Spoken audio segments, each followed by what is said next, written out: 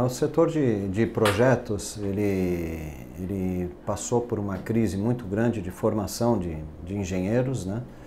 É, uma crise de falta de serviço, é, diminuição por, devido à falta de serviços de, de, de pessoas que quisessem trabalhar no setor e também uma crise de formação de, de engenheiros. Houve uma diminuição da, do, do currículo é, exigido para se formar um engenheiro, a carga horária que se tem hoje em dia para se formar um engenheiro diminuiu muito em relação a 20, 30 anos atrás, de sorte que os engenheiros que saem hoje em dia saem com uma deficiência muito grande de, de formação e o mercado precisa de uma hora para outra ter bastante engenheiros, então o que a gente observa é que ah, existe uma demanda grande, existem poucos engenheiros capacitados e a, o serviço acaba sendo feito de uma forma não muito conveniente. Né? Bom, nossa empresa é formada por ex-professores da, da, da, da, Universidade Mackenzie. É, eu lecionei durante 30 anos na, na Universidade Mackenzie Mecânica dos Solos e Fundações, a minha sócia também na, na, na arquitetura. E nós basicamente desenvolvemos projetos, transferência de know-how e da melhor forma possível para atender, atender os clientes, é, para que não tenham surpresas durante a execução da, das obras. Né? Atuamos na área de infraestrutura, entenda-se por infraestrutura é, estradas, é, barragens, obras de terraplanagem, obras de drenagem, pavimentação, ah, fundações de obras de arte, fundações de edifícios, contenções de encostas, é, todo, todo esse tipo de projeto nós desenvolvemos aqui na, na infraestrutura.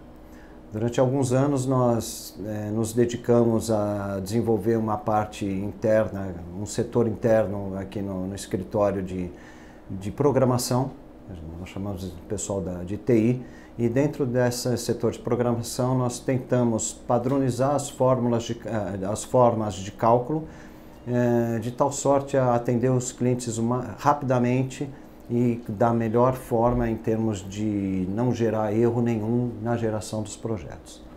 Tá? Então, o grande diferencial da infraestrutura hoje em dia em relação ao mercado é a nossa velocidade no atendimento e a nossa certeza do que, que nós estamos dando não tem erro nenhum. O projeto sai redondo, por assim dizer. Tá? Eu acho que o principal diferencial nosso, ele realmente está nesses dois fatores que nós colocamos. Todas as empresas são muito boas, eu acho que quem sobreviveu até hoje é, dentro do ramo é porque é muito bom, né? porque nós sofremos muitas, passamos por muitas crises, é, ficou quem gosta mesmo de trabalhar, quem gosta de ser engenheiro, ficou quem é muito bom e ficou quem é talvez até um pouco maluco, né? Porque não foi para outro ramo. E dentro disso nós, enxergando essas, essa crise de, de, de, de falta de mão de obra e de formação, nós resolvemos investir. Isso já começou, como eu coloquei, há uns três anos atrás investir muito em tecnologia para desenvolver os projetos automaticamente.